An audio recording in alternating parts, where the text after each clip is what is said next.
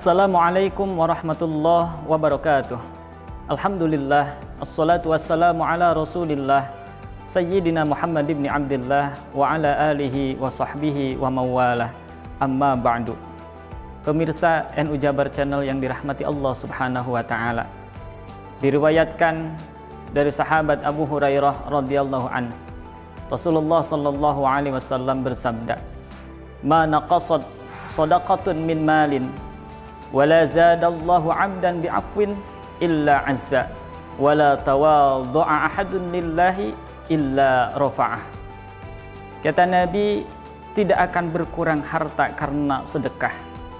Allah pasti akan menambah kemuliaan orang yang suka memaafkan dan seseorang yang selalu merendahkan diri karena Allah Subhanahu wa taala pasti Allah akan mengangkatkan derajatnya Saudaraku yang dirahmati Allah Subhanahu wa taala.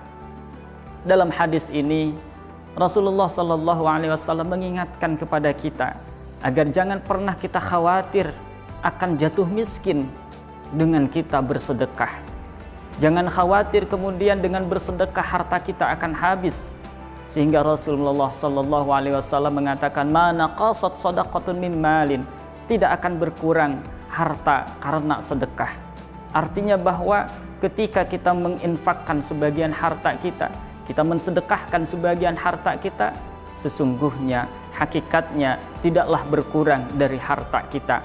Bahkan sesungguhnya apa yang kita sedekahkan, apa yang kita infakkan di jalan Allah, justru itulah harta yang tersimpan untuk kita menjadi bekal kelak di yaumil akhir. Kemudian yang kedua Rasulullah Shallallahu Alaihi Wasallam juga mengingatkan kepada kita bahwa seseorang tidak akan menjadi terhina dengan dia memaafkan kesalahan orang lain. Bahkan Rasulullah Shallallahu Alaihi Wasallam mengatakan, "Wala zadallahu abdan bi'afwin illa azza." Dan tidaklah Allah Subhanahu wa taala akan menambah kepada seorang hamba yang mau memaafkan kesalahan orang lain kecuali Allah akan meninggikan atau Allah akan menambah kemuliaan pada dirinya dalam arti kita menjadi mulia dengan kita memaafkan orang lain. Dan yang ketiga kata Rasulullah sallallahu alaihi wasallam, "Wala tawadhu'a ahadun lillah" dan tidaklah seseorang dia merasa tawadu, merendahkan hati semata-mata karena Allah Subhanahu wa taala kecuali kata Rasul illa rafa'ah kecuali dia akan ditinggikan derajatnya oleh Allah Subhanahu wa taala. Saudaraku yang dirahmati Allah Subhanahu wa taala, dengan kita merendahkan hati semata-mata karena Allah Subhanahu wa taala, maka kita tidak akan menjadi rendah diri kita. Justru sebaliknya, kalau tawadhu itu akan meningkatkan derajat kita, maka sebaliknya ketika kita takabur, ketika kita merasa besar, ketika kita merasa tinggi, di hadapan yang lainnya, di hadapan makhluk Allah yang lainnya, justru sesungguhnya hakikatnya kita sedang merendahkan derajat kita sendiri. Maka saudaraku yang dirahmati Allah Subhanahu wa taala, mari kita menjadi kaya dengan sedekah.